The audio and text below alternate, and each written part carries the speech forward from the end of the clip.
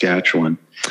Uh, Mr. Brodhead, uh, just at the outset, I want to make something clear. At the first ministers' meeting, Premier Moe expressed the view that the Emergencies Act was not wanted and not needed in Saskatchewan, correct?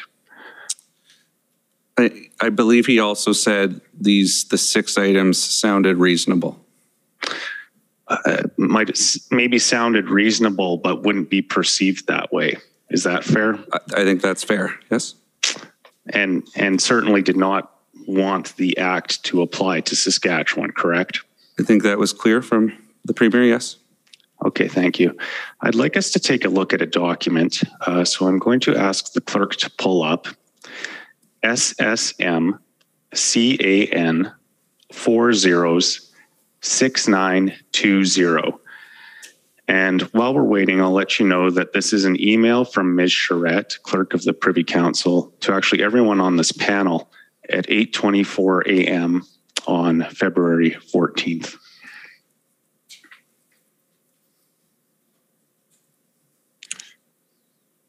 So we can see there 8:24 a.m. Uh, from Ms. Charette. Good morning, all. There's something that's privileged, but then she is detailing uh, work that seems to be going on. Other products in train. FMM script with Q's and A's, comms, news release, and BG, which I expect means background. Decision note for PM. Uh, then at the end, she says, others still in the machine.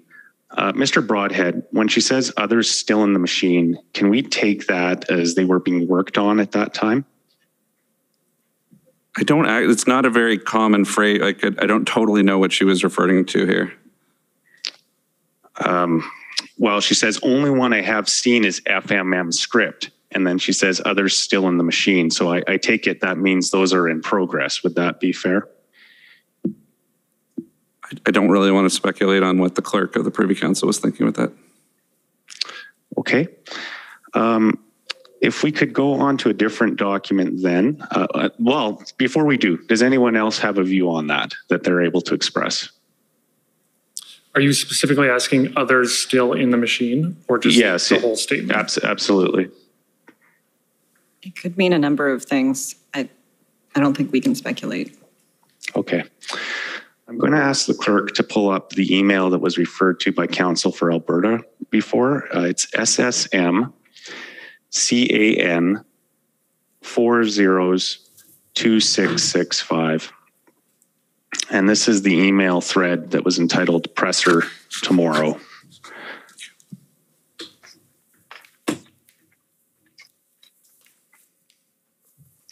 And I'd like us to go down to the bottom of the second page of the PDF.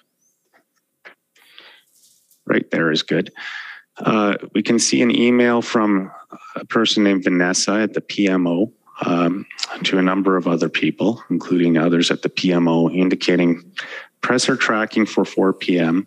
This is not to be shared publicly until FMM over and PM updated itinerary is available or is out, please. And uh, her her email there, of course, is is at eleven oh five, I believe. If we just go up. 11:05 a.m. So my understanding is the first minister's meeting would have been going on at that point. Um, Ms. Telford, was the purpose in delaying the announcement of the press conference so that the premiers would not be offended? No, the um, there was a lot of work happening concurrently at the time, and uh, to be ready for whatever scenarios and whatever decision ultimately the prime minister came to. And so Vanessa, um, who you named there, who's our excellent deputy director of communications, was making sure that all those tracks were were heading in the right direction. Um, at any point, things could have been stopped, and uh, and things could have changed just as they were. Okay. I'd like us to go to the middle of the first page of this PDF, and it'll be an email at 1.43 p.m. There it is, from Vanessa again uh, to uh, David Taylor and, and others, uh, stating, we just finished speech prep with PM. Alex is editing his remarks and will be able to share with this group as soon as he is done. So I, I gather at this point in time, 1.43 p.m. on the 14th, uh, the prime minister has already rehearsed his speech that he's going to be giving at 4:30 p.m. Is that fair? Speech prep, speech prep is our shorthand uh, for going through his remarks, uh, which we would have definitely returned to again uh, that afternoon. And so that means they would have done a once through with him on what things could look like. Okay. Um, he wasn't rehearsing two versions of a speech, was he? One where he was announcing the the invocation of the Emergency Act, and another where he wasn't. Was he? To be clear, I wouldn't call it rehearsing. Um, the words speech prep literally mean preparing a speech, and so they would have been discussing what what would have been going into the content in it, whether he was comfortable with where the drafts were at at this point. Okay. Um, we heard evidence from the clerk of the Privy Council some time ago, and her evidence was that the decision note was sent from the uh, PCO to the PMO at 3:41 p.m. on February 14th. um, we can pull up a document if you need me to, or I can just ask you to take my word for it.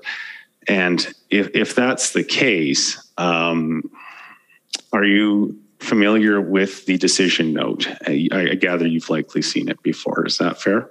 We're familiar with the decision note. Okay. Uh, a fairly lengthy document with a number of appendices, correct? Yes.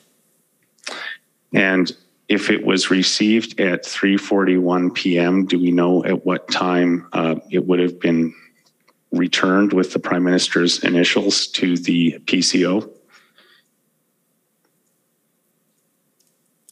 It was at some point between receipt and when the prime minister made the announcement. Okay, so it's obviously sometime before 4:30 in the afternoon then, correct? Um, that would not have given the prime minister much, if any, time to have read all of that material. Would you agree with me? Well, a couple of comments. Uh, One, he did read the note.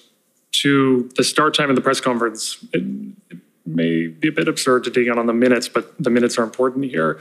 I don't know that it started precisely at 4:30. I think there might have been some delay there, but after it was received, the prime minister did review the note, signed the note, made the announcement, and that signing of the note um, was came after the FMM, came after the opposition leader consultation, and that was the prime minister making the decision there before he announced it.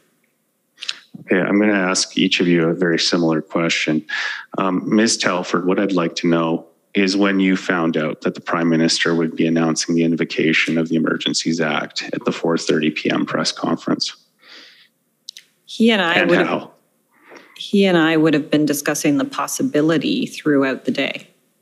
Until he signed the decision note, uh, there was there was nothing confirmed. Um, okay. Do we know when the announcement went out to the press gallery that the conference was going to be held at 4:30 p.m.? I don't know what time that went out. Mr. Clow? I believe it went out earlier that afternoon, around around or shortly after one o'clock, and the decision at that point to issue the itinerary was to notify media the prime minister would have something to say, and it is absolutely possible that the prime minister could have decided not to proceed down this path before he addressed the media that afternoon, and it it happens not infrequently on an issue that scenarios are planned, a track, we may be on a certain track, but a, a decision, a different decision is taken at a certain point, even at the last minute. So no, the decision was not taken until shortly before it was announced to media. Okay, I'll explore that just briefly if I can. Let's call the Emergencies Act track one, and let's call whatever the other um, decision could have been track two. Was there material prepared for a track two presentation at 4:30 p.m.? If a decision was taken not to invoke the Emergency Act on that day, the remarks and announcement would have been changed. They You're they, well they over would your have been. time. You're well over would your time, so you're going to have to wrap up. Um, last question, but was there any draft material prepared uh, in the event that the decision was to not invoke the Emergencies Act? I'm, I'm not sure if there was. You would be familiar if there was, though, wouldn't you? But my point position? is, even if there wasn't a draft, this can be done quite quickly if, in order to redraft materials. Um, and it has happened before on different issues. We got very nimble during the pandemic, um, where we were putting out advisories for things where we weren't sure what the content was going to be a couple of hours later. And that's what you need to do in times of crisis. Yeah. I appreciate uh, the entire panel answering my questions. Thank you very much. Okay, um, now we